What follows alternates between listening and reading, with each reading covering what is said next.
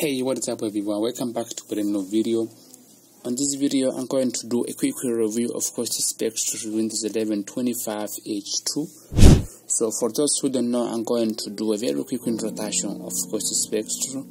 So what is Ghost Spectre? Ghost Spectre is a modified version of Windows 11 made for performance, privacy, and low resource usage it removes unnecessary apps, background service, and telemetry that slow down normal windows.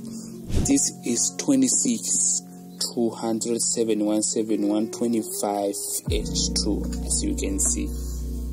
So looking at the process tab, we can see the apps running right now and the background process. As you can see, the number of processes is significantly lower than what you get with the standard Windows 11 25H2. Now moving on to performance, here you can see detailed usage for CPU, RAM, disk, GPU and more.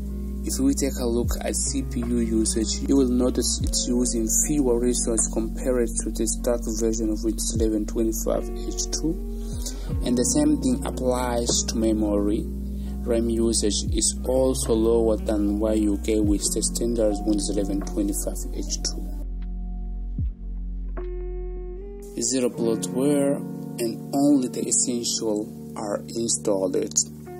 So if we open programs in future, you will notice there are only a few pre-installed programs here. This really shows how lightweight this build is with no unnecessary software installed by default.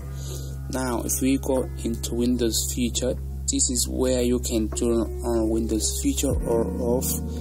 So if there is a feature you actually use and it's currently disabled, you can simply enable again and if there is something you don't need you can turn it off to keep the system clean and optimize it.